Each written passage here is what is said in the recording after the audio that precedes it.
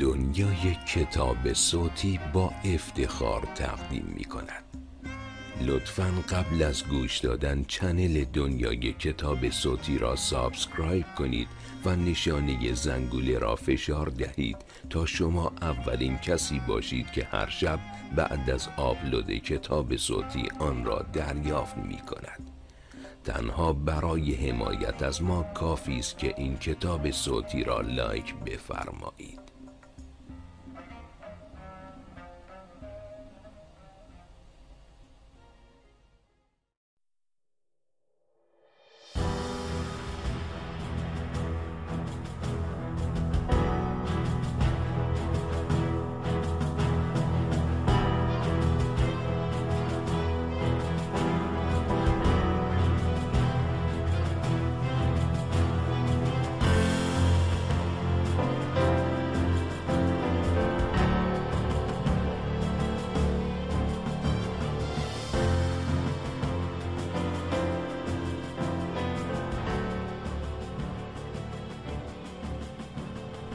کتاب خورشید تیسفون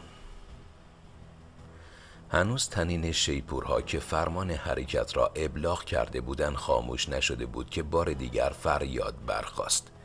این فریاد تو هم با قررش رعداسا بود که دشت نصیبین را لرزانید زیرا شیروژن فرمان حمله داده بود. سپاهیان دلیر ایران با آنچه قوت که در سینه داشتند با فریاد ایران پاینده اسب به طرف رومیان هجوم بردند. سواران دهانه های اسبها را کشیده در عین حال با پیشانی رکاب به زیر بغلشان فشار آوردند. اسبهای اصیل و کوه پیکر از این حرکات و فرامین متضاد با شیهه وحشت آور که قررش فریاد سپاهیان را تحت الشعا قرار داد بر روی دو پای عقب بلند شده در همان لحظه سواران انان را سست کردند و اسبها چون تیری که از چله کمان رها شود خود را به صفوف رومیان زدند. این صحنه ها قبلا تهیه شده بود تا رعب و وحشت در دل و جان رومیان ایجاد کند. البته آنها دستور داشتند تا آشکار شدن سواران مخفی رومیان را مرعوب و پریشان خاطر سازند. وقتی که در دنبال این قوقا ناگهان حمله مترقبه جناحین آغاز می‌شد مسلم بود که رومیان تاب نیاورده عقب نشینی اختیار می کنند. حمله پرسر و صدای شیروشن همانطور که امید داشت نتیجه داد. سپاهیان روم با همه عظمت و ابهت خود کمی عقب نشستند. این عقب نشینی به طرزی خاص و بی سابقه انجام گرفت یعنی سپاهیان اعم از سواره و پیاده بدون آنکه سمت خود را تغییر دهند به عقب رفتند. چون منتهای آرزوی شیروژن این بود که رومیان را به محل سواران مخفی و همچنین مدخل دشت نزدیک کند تا هرچه زودتر آن عقب نشینی مبدل به فرار گردد. لذا دستور داد که شیپورچیان آهنگ هجوم را به شدت بنوازند. طولی نکشید که از دو جناح گرد و خاکی قلیز مشاهده شد. شیروژن لحظه ای چند سر به سوی آسمان برداشته از یزدان مدد خواست تا در انجام آن شاهکار بهتاور وی و همه سپاهیان را یاری کند. اما با کمال وحشت و تعجب از جناهی که مرزبان در آن بود آهنگ عقب نشینی فوری شنید. یک لحظه شیروژن چون اشخاص سائق زده بر جای خود خوش شد دیوانوار به آن سمت نگریست. از خاطرش گذشت که اشتباه می کند و هیاهو و قوقای میدان جنگ چونان آهنگی را ایجاد نموده. اما دم به دم آن آهنگ که چون قررش مرگ همه ذرات وجودش را مسخر ساخته بود شدت یافت اینک از پشت جبهه خود نیز نوای عقب نشینی را مانند ناله دردناک مجروحی محتضر میشنید. قفلتا بحت و وحشت شیروژن به خشم و غضب مبدل گشت زیرا آثار هزیمت در سپاهیان ایران بروز کرده بود. چند بار فریاد برآورد که کجا می روید مگر دیوانه شده اید اما حتی گوش خود او صدایش را نمی شنید و تشخیص نمی‌داد. عده معدودی از سواران که به خوبی می‌دیدند اسپهبد و فرمانده آنان متوقف است و فریاد برمیآورد به دورش جمع شدند یکی از آنها بانگ زد رسیدیم برویم. شیروژن که دیگر خونسردی و متانت را از دست داده نمی‌توانست افکار و حواس خود را جمع کند بی اراده به حرکت درآمد. اما متاسفانه دیر شده بود. چند لحظه بعد صحنه ای در آن نقطه به وجود آمد که حتی امپراتور والریان نیز در مقابل شهامت و احساسات جنگجویان ایرانی سر تعظیم فرود آورد. قطعا خوانندگان محترم تعجب می کنند که چگونه ناگهان ورق برگشت. اگر شیروژن با غرور رویه و رفتار غیر منطقی سپاهیان روم را حمله ور وحشت و استراب آنان نمی‌کرد متوجه می‌شد که سکوت و تعنی و تأمل و احتیاط آنها به خصوص عقب نشینی سری و غیر مترقبه آنان که در واقع پیش از تماس و خونریزی انجام گرفت علتی خاص دارد. برای یک انسان عادی در حال آرامش کاملا روشن و آشکار بود. که سپاهیان امپراتور والریان از یک دستور پیروی می کنند و تابع اوضاع جنگ نیستند. متاسفانه شیروژن چنان تحت تاثیر افکار خود و اجرای نقشه متحورانه خود قرار داشت که همه حرکات مرموز و عجیب رومیان را به بخت و اقبال خود و طرز و استراب آنان تلقی می کرد. اما مرزبان که مانند شیروژن در جناح دیگر سر بلندی ایستاده و به دقت آن صحنه را تماشا می نمود برای اینکه دچار استنباط غلط نشود هر گونه نگرانی و تشویش و ابتکار را از خیشتن دور نمود. وی با دیده عقل و منطبق و دوراندیشی به آرایش حریف و رفتار آنها مینگریست. وقتی که رومیان در سراسر جبهه متوقف گردیده و پس از چند لحظه پیادگان به طرف دو جناح کشیده شدند و سوار نظام رومی در وسط جبهه آشکار شد مرزبان که به فنون جنگ رومیان آشنایی کامل داشت تعجب کرد. ابتدا اندیشید که قطعا ادنات فرمانده کارکشته و ورزیده سواران انتاکی از مشاهده آرایش ایرانیان تشخیص داده است که قلب سپاه ضعیف و جناحین آن قوی است. لذا سواران را از پشت فراخوانده و مأمور حمله به قلب نموده از تا به این ترتیب پیادگان با فشار خود دو جناح ایرانیان را در هم بشکنند. ولی قبول این نظریه برای او خالی از اشکال نبود. زیرا رومیان عمل مزبور را چنان انجام دادند که گویی قبلا دستور داشتند نه اینکه آن فرمان با مشاهده میدان جنگ صادر شده باشد. موقعی که مرزبان این نظریه را رد کرد متوجه شد که حرکت رومیان درست موافق میل و طبق نقشه شیروژن انجام گرفته و مثل آن است که ادنات و والریان به خوبی از منظور و مقصود و دام شیروژن اطلاع دارند و تعمدن به طرف دام می روند. چون مشکل بود که مرزبان تصور کند رومیان از تمهید ایرانیان آگاه شده ان به تردید افتاد ولی این تردید زیاد به طول نینجامید و خیلی زود مرزبان یقین حاصل کرد که به مصیبتی عظیم گرفتار شده ان زیرا با آغاز حمله به طرزی انکار ناپذیر دید که هنوز نیزه های بلند دلیران ایران پرتاب نشده و شمشیرهای پهن و بران از نیام بیرون نیامده. در واقع رومیان تا آنجا که شیروجن مایل بود و آرزو می کرد عقب رفتن. از این پس مرزبان دست به فعالیت زد. وی بود که به شیپورچیان دستور داد تا فرمان عقب نشینی را سری بنوازند. به طوری که خواهیم دید استنباط مرزبان صحیح و اقدامات او مقرون به صلاح بود. چنانچه وی تیزهوشی و سرعت عمل به خرج نمی‌داد امروز کار جنگ یک سره شده و دیگر در مقابل سیل خروشان لژیون های رومی کوچکترین مانعی وجود نداشت و آنها می توانستند یک سره تا تیزفون بتازند. برای اینکه بدانیم چه حادثه ای شد و چگونه رومیان چنان شاهکاری به وجود آوردن باید کمی به عقب بازگردیم و شخصی را که خود هیچ گونه ارزش و اهمیتی نداشت ولی حوادث و سرنوشت وی را بلند آواز ساختن تعقیب کنیم که آن شخص ارشاک بود. خوانندگان محترم به خاطر دارند که در شب تصادف سواران یوسف با برانوش و همراهانش ارشاک به موقع از بروز خطری حتمی الوقوع واقف گردیده. به طوری که جلب توجه نکند فرار اختیار کرد و با آنکه سواران رومی به او گفتند که صلاح نیست نزد امپراتور برود و خبر ناگوار عدم موفقیت یوسف را به او اطلاع دهد. معزالک وی با کمال سرعت به طرف اردوگاه امپراتور میتاخت و به سواران نیز گفت خبری دارد که امپراتور را شادمان می‌سازد. غالبا اتفاق میافتد که در جریان حوادث شخص حقیر و گمنام با اطلاع از کیفیت مطلبی مهم کاری را که یک امپراتور با صدها هزار سپاهی قادر به انجام آن نیز از پیش بر می دارد. مسیر تاریخ را عوض می کند و همچنین اشخاص بزرگ و با تجربه قفلتی کوچک مرتکب می شوند که آن قفلت مشکلاتی بسیار بزرگ ایجاد می نماید. به هر صورت مقدر و سرنوشت آن بود که هوشیاری مردی گمنام چون ارشاک و غرور شخصیتی عالی قدر چون شیروژن داستانی بینظیر به وجود آورد که به یادگار در صفحات تاریخ ثبت شده و مایه عبرت نسلهای بعد باشد. این که می‌گوییم هوشیاری ارشاک و قفلت شیروژن داستانی بینظیر ایجاد کرد اقراق نیست زیرا جنگ خونین آن روز در نصیبین موجب حادثه ای شد که آن حادثه پایه و اساس ده سال کشمکش و هنرنمایی زنوبی را تشکیل می‌داد. بعضی از مورخین که احساسات را به کنار گذارده بیطرفانه و منصفانه حوادث را نگاشته و حقایق را در معرض قضاوت و مطالعه دیگران گذارده اند در مورد شاپور عقیده دارند. که پس از یک رشته جنگ های خونین صفات برجسته خود را از دست داده کم و قسی القلب و جبار شد مورخین مزبور علت تغییر رفتار وی را صدمات روحی ناشی از همین جنگ می‌دانند سرگذشت ملامتبار و تأثرانگیز آیشه اندکی تعادل روحی او را برهم زد.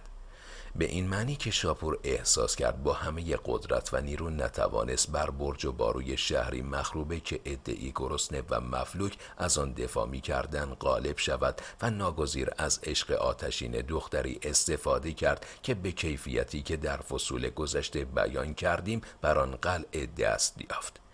اگرچه همه تصدیق می کردن که شاپور حتی امکان از جاده شرافت و شهامت خارج نشد ولی او خود به خوبی درک می کرد که این فتح و پیروزی را با زور و شمشیر تحصیل نکرده. متاسفانه در نتیجه حادثه نصیبی نیز شاپور گرفتار حریفی گردید که یک زن بود. این زن که همان زنوبی باشد ماجراهایی برای سپاهیان ایران ایجاد نمود که موجب تقیان خشم و طوفان روح شاپور گردید. متاسفانه ما به دنبال یک کلمه بی اختیار از حوادث پیش افتادیم و آنچه را که بایستی بدها بنویسیم به رشته تحریر درآوردیم. ولی فکر می کنیم نوشتن این مختصر از نظر اثبات نظریات ضروری و به موقع بوده. ارشک که مردی جاسوس و موقع شناس بود در حالی که بدون استراحت و توقف به سوی جایگاه امپراتور والریان میتاخ افکار خود را مرتب نمود. نقشه ای طرح کرد که از خشم و غضب امپراتور در امان بوده ضمنا توجه و تحسین او را به خود جلب نموده و با استفاده از موقعیت آنچه را که آرزو می کرد بعدها به وسیله یوسف به دست آورد تحصیل کند ارشک از زمره کسانی بود که می‌دانست بخت و اقبال هم رکاب چرخ زمان در گردش بوده یک بار به سراغ هر کس می روند. اگر آن شخص عاقل و دوراندیشی باشد وقتی که انان توسن بخت را به چنگ آورد بدون بیم و حراس و اندیشه و وحشت از سقوط بر پشتش می نشیند و جولان می دهد. روی این منطق ارشد با آنکه حامل خبری وحشت آور و یعصاور برای امپراتور بود نترسید و شتابان بالاخره خود را به اردوی بزرگ رومیان رسانید چند سواری که همراه وی بودند خستگی و بیخوابی را بهانه کرده از بیم آنکه مبادا در امواج غضب امپراتور غرق شوند گذاشتند که او به تنهایی به حضور امپراتور برود. اتفاقا ارشاک نیز مایل بود که در این سرنوشت شریکی نداشته باشد و اگر آن سواران می‌دانستند که ارشاک تا چه اندازه محیل و مدبر است وی را رها نمی‌کردند تا از بخت و اقبال او سهمی ببرند. هنگامی که ارشک داخل اردوگاه شد شب بود. با آنکه به دشت نصیبی نزدیک بودن مهازا والریان برخلاف میل و عقیده ادنات دستور داده بود توقف کنند. ادنات از این دستور سخت خشبین به نظر می رسید زیرا می‌دانست هر لحظه تأخیر به ضرر و زیان آنها تمام می شود آنها بایستی به سرعت عجل به دشت نصیبین تاخته چون گردبادی مخوف تومار عده قلیل سپاهیان ایرانیان را در هم نوردند.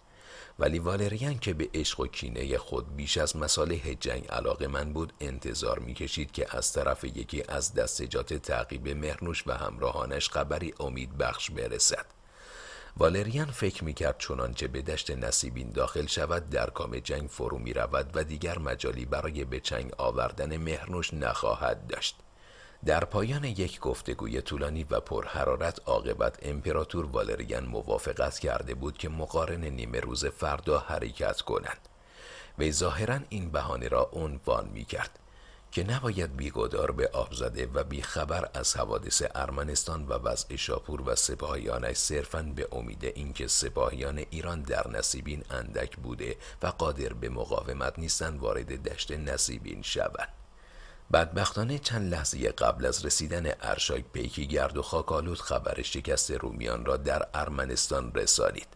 ولی این پیک از جزئیات وقایع آگاه نبود و همینقدر می‌دانست که ابتدا رومیان سپاهیان ارمن را در میان گرفته و مطمئن بودند که همه آنان را از دم تیغ میگذرانند اما روز بعد ورق برگشت و او به چشم خود دید که سوار و پیاده رومی رو به هزیمت نهادند.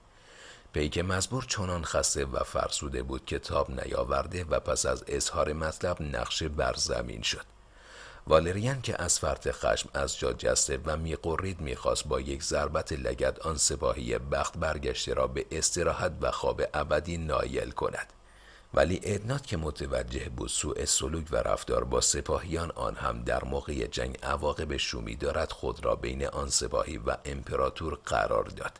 شخصا سپاهی را تا مدخل سراپرده کشیده دستور داد وی را به بستری نرم برده جرعه ای شراب به او بنوشانند چون با اطلاع از این خبر دیگر جای تعمل نبود و بایستی هرچه زودتر و پیش از آنکه سپاهیان ارمن به کمک شیروژن برسند به دشت نصیبین بتازند.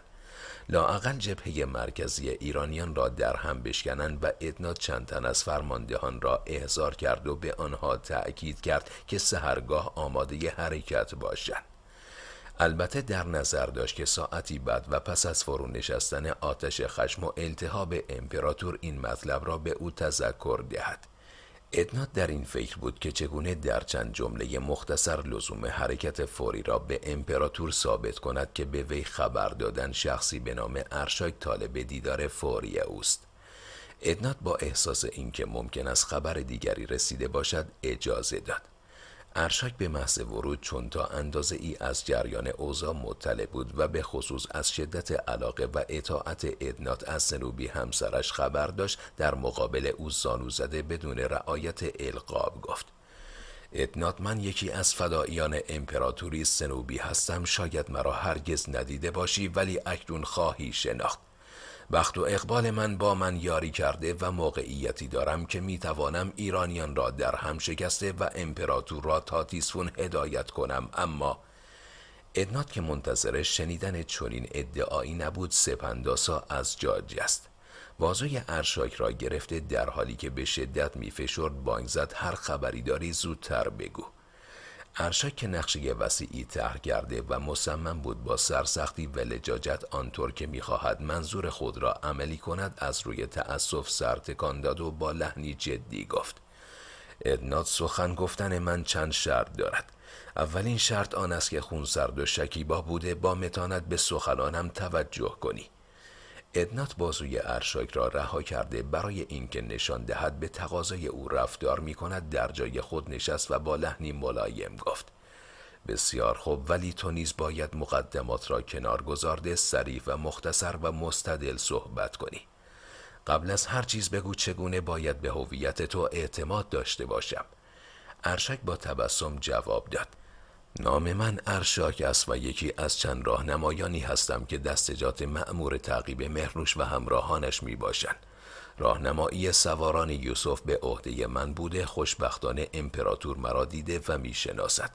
البته در عین حال همانطور که گفتم افتخار خدمتگذاری زنوبی را دارم و قضا و قدر مرا در جریانی شرکت داد که بتوانم در این موقع حساس خدمت برجسته ای انجام دهم.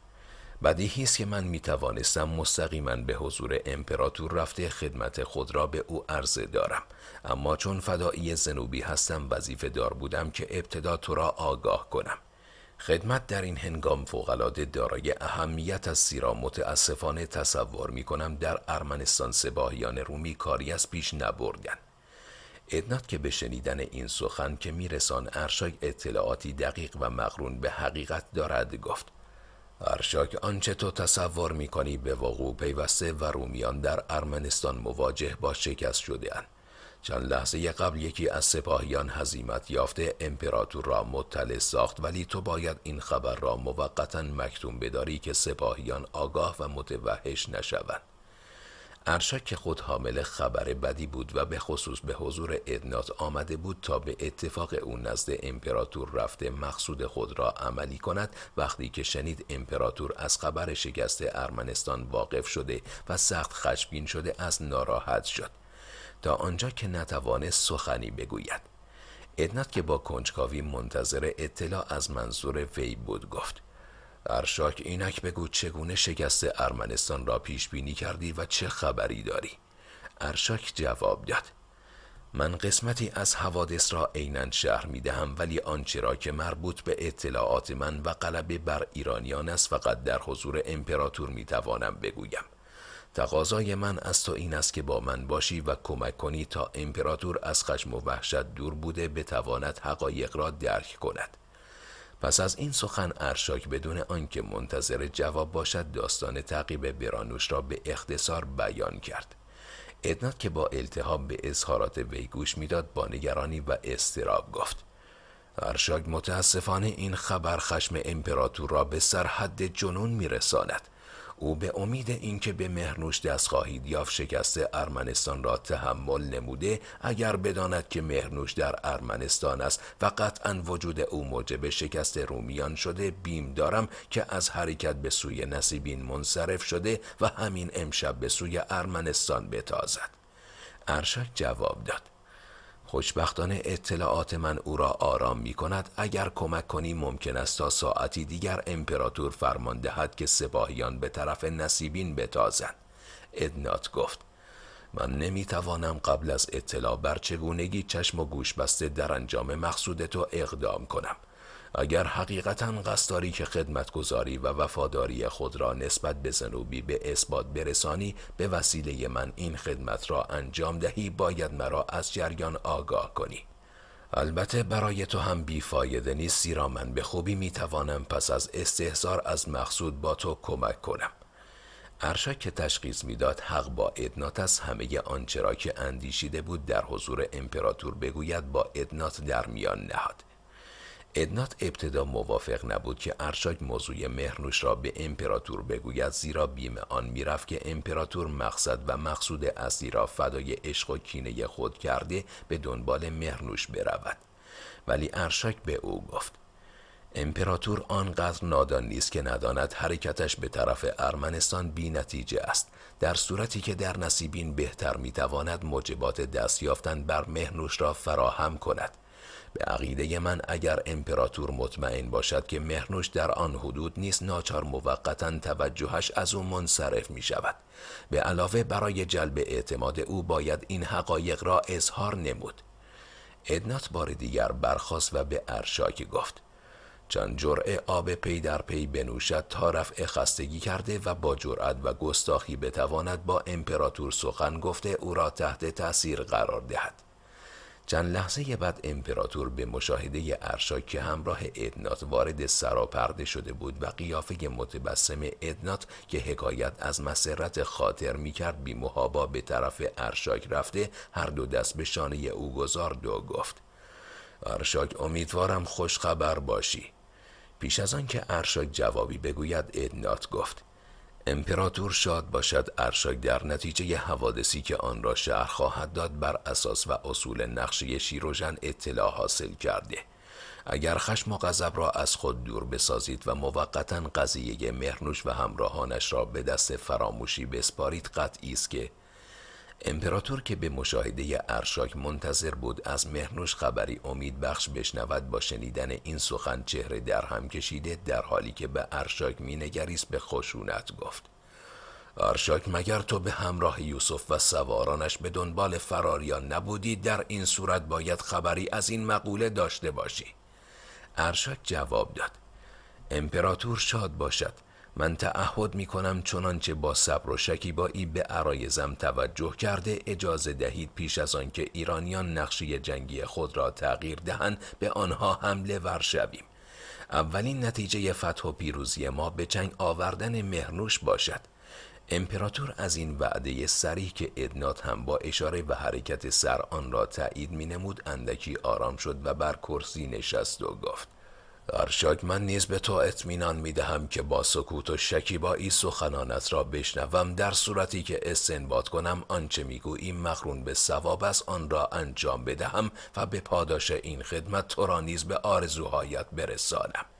ارشک قصد داشت ابتدا با سوالات مختلف درباره احساسات امپراتور نسبت به مهرنوش و گفتگوی متفرق ذهن او را آماده شنیدن خبر عدم موفقیت یوسف و از به چنگ آوردن مهرنوش کند.